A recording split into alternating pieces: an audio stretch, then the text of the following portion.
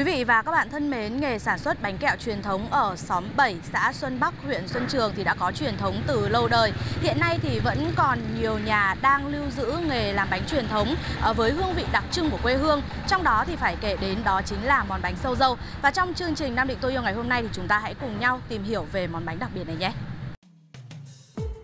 Về xóm 7, xã Xuân Bắc, chúng tôi được giới thiệu đến cơ sở sản xuất sâu quẩy bà Háu, một trong số ít hộ còn giữ nghề sản xuất bánh dâu với hương vị truyền thống. Anh Bùi Văn Hải và chị Đoàn Thị Thanh Nhơn, chủ cơ sở chia sẻ với chúng tôi. Nghề làm bánh sâu đã có ở địa phương từ lâu, riêng gia đình anh chị đã có truyền thống nhiều đời theo nghề. Trong đó, vợ chồng anh chị đang là thế hệ kế cận tiếp theo lưu giữ nghề truyền thống này của gia đình. Sở dĩ người ta gọi là bánh sâu dâu vì khi ra thành phẩm, hình dáng bánh nhỏ bé giống hình con sâu. Theo chị Nhơn, công thức làm sâu dâu truyền thống thì ở gia đình nào còn giữ nghề trong xóm cũng giống nhau. Nhưng bí quyết để sản phẩm thơm ngon phụ thuộc vào nguyên liệu và sự nhạy cảm trong lúc chế biến của người thợ. Tất cả những điều này cần cái tâm và sự chỉn chu của người thợ làm nghề. Nguyên liệu để làm bánh sâu ngon là gạo tẻ, Kinh nghiệm để chọn gạo ngon, sạch, đảm bảo chất lượng làm bánh của gia đình chị Nhơn là phải chọn loại hạt gạo mẩy, đều, còn nguyên phôi trắng, ít hạt vỡ. Hạt vàng ngà, ngửi sát có mùi thơm nồng tự nhiên thì là loại gạo mới và già hạt. Khi nhấp vài hạt trong miệng, cảm giác gạo có vị ngọt tự nhiên. Đặc biệt, loại gạo làm bánh sâu không được chọn gạo dẻo bởi khi làm bánh sẽ bị ỉu và không được giòn. Ờ, để làm ra được những cái con sâu như thế này thì ờ, mình sẽ trải qua những cái công đoạn là như thế nào hả chị? trước hết là mình phải ngâm gạo này. Đấy xong rồi um, vớt gạo thì để gạo chờ cho gạo nó róc bớt nước đi. Xong rồi để mình nghiền thành bột. Nghiền bột thì một phần mình có thể dùng để nấu một phần mình dùng để nấu cháo. Còn lại thì để nấu cháo xong tí trộn với cái bột mình vừa nghiền xong. Đấy như em vừa thấy đấy đấy xong đấy rồi ờ, mình khi mà trộn bột xong thì mình sẽ làm ẩu dùng máy trộn bột để cho cái bột nó quyện lại với nhau. Mình tạo làm sao mình để làm sao mà cho cái bột đấy mình sờ nó không dính tay vào được. Đấy thì cho lên máy vo sâu. Đấy cái máy mà em nhìn thấy nó ra những con sâu ấy đấy nó gọi là máy vo sâu. Xong những đấy thì mình cho ra rán thôi. Vâng. cho nó chiên. Chiên xong rồi trộn đường. Vâng. nó chỉ có mấy mấy bước đấy thôi Nhưng mà để mà làm ra được những cái con sâu hoàn chỉnh như thế này thì nó có yêu chuẩn màu sắc hay là về có chứ. không? thứ nhất là về cái khâu chọn gạo ấy. Thứ nhất là con sâu này nó cũng tương đối là kén gạo. Nhất em không được chọn gạo dẻo quá không được chọn gạo dẻo này.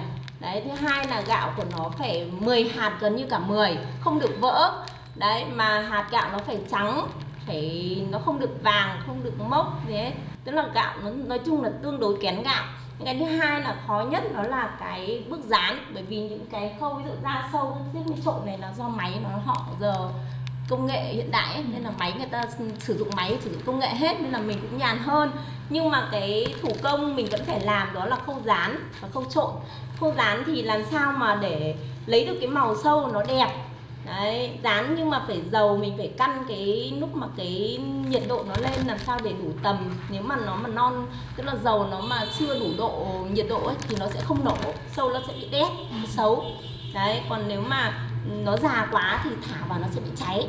Đấy làm sao mà để lên được nó có cái màu vàng óng óng đẹp đẹp như này. Đấy đấy là mình đòi hỏi về kỹ thuật đấy cái thứ hai là cái trộn đường ấy. Cái trộn đường thì cái lấy tốc rất là quan trọng bởi vì nếu lấy non quá cũng không được mà già quá thì đường nó bao quanh cái sâu thì đến khi nó xấu ấy đấy nó không ấy nó không kết được vào sâu với nhau thì là khi mà mình ăn lên thì để khoảng độ tầm vài hôm thì nó sẽ cứng sâu. Nó không có không đảm bảo được độ giòn sâu lâu. Đấy. Ờ, vậy thì em thấy là như trước ấy thì mình, đa số là mình làm các bước đều bằng tay, đúng không? Và bây giờ khi mà chuyển sang bằng máy như thế này thì nó có những cái thuận lợi những cái khó khăn gì không chị? có chứ. Thuận lợi là nó có thật nhiều thuận lợi hơn nhé. Thứ nhất là cái lượng hàng mà nó ra là nhiều hơn. Ngày trước ví dụ như làm thủ công như bố mẹ chị làm ấy, thì là cứ phải ờ, bột là phải giã này, thế xong rồi ờ, xong đấy nó còn phải vo tay. Vo tay từng con một thì một ngày, ví dụ như là một ca sâu em làm nửa ngày thì cùng lắm chỉ được hai chục cân thôi đấy, nó rất là vất vả vất vả lắm. Mà nếu mà hai người thì không thể làm được một mẻ sâu. Đấy, nhưng mà bây giờ nếu mà thay bằng máy móc, ví dụ như nhà chị bây giờ là máy trộn bột là chị cũng máy nghiền này, máy trộn bột này, máy vo sâu này, chị làm hoàn toàn bằng máy móc hết. Thì là thứ nhất là tiết kiệm mình, cái tiết kiệm cái sức người rất là nhiều. Cái thứ hai là cái sản phẩm nó ra, thứ nhất là nó đều hơn. 10 con thì như nhau cả 10 đấy, mấy thứ hai là sâu nó đều, nó nổ đều nữa đấy, thì mình nhàn hơn nhưng mà nó có khăn là tức là mình nếu mà nhà mình ít nhân công ấy là mình phải chạy theo máy móc. Ừ. nghĩa là mình làm như em thấy rồi đấy. Nghĩa là mình làm khâu này xong thì phải làm tiếp khâu kia. Nếu không thì mình phải chờ các khâu khác nữa phải chờ. Đấy vì tất cả bây giờ mình sử dụng đều bằng công nghệ đồ điện hết mà. Ờ, hiện tại thì nhà mình đã sản xuất những cái loại sâu như thế nào ừ, sâu thì nhà chị có sâu không đường sâu có đường. Sâu không đường thì đa phần là những các bác các ông các bà những người bị tiểu đường ấy ừ. là người ta kiêng đường thì người ta sử dụng sâu không đường. Đấy hoặc là những người mà nó không thích ăn ngọt ấy vì sâu không đường thật ra thì nó ăn nó có vị riêng của nó. Thứ nhất là nó bùi này và nó có vị thơm này. Ừ. đấy thứ hai là nó không ngọt ăn người ta rất là thích. Đấy em cứ thử em thử thì biết. Ừ. đấy ăn thử sâu không đường với sâu có đường. Có đường thì nó ngọt ngọt man mát nhưng mà trẻ con với lại những người mà người ta thích ăn ngọt vừa vừa ấy nó dễ dễ dẫn hơn. Vì những cái sâu không đường này có thể là những các bác ấy các ông các các ông mà ví dụ uống rượu ấy đấy là người ta thích nhấm với rượu chẳng hạn. Cái nó có một cái vị ngon riêng nên là tùy tùy uh, khẩu vị của khách đấy, tùy khẩu vị của từng khách rồi mọi người ừ, ăn thế nào thì mình uh, đáp ứng như thế vâng. để đáp ứng nhu cầu của thị trường các hộ sản xuất đã đầu tư máy làm bánh để cho năng suất cao. Tuy nhiên, có một vài khâu cũng vẫn phải làm bằng thủ công. Việc ghi nhãn mác sản phẩm, thời hạn sử dụng, ghi rõ địa chỉ sản xuất cũng được cơ sở sản xuất bánh kẹo của vợ chồng chị Nhơn quan tâm, thể hiện trách nhiệm của mình về chất lượng sản phẩm. Sản phẩm bánh sâu mang thương hiệu xã Xuân Bắc đảm bảo an toàn vệ sinh thực phẩm, không có chất bảo quản và phụ gia cấm. Hiện nay, mỗi cân bánh sâu có giá thị trường bán lẻ từ 30.000 đồng. Đặc biệt, những năm gần đây, khi nghề truyền thống của quê hương đang dần được phục hồi, các hộ gia đình làm nghề sản xuất bánh kẹo đều thuê thêm lao động và tăng các nguồn nguyên liệu dự trữ để sản xuất thời ừ, nó sẽ chậm hơn, chậm hơn thì chị làm một ca tầm khoảng 50 hoặc 60 cân gạo thì nó, đấy thì nó cũng ra được khoảng ờ, 6 65 ừ, đến 70 cân sâu. Đấy thì tầm đấy còn uh, ngày thường ngày tết thì chị sẽ phải tăng thường nhiều hơn tức là phải làm 2 ca. Nó tùy theo cái lượng khách hàng đặt nữa. Nếu đặt nhiều thì mình làm tăng lượng gạo lên. Đấy thì nó sẽ ra.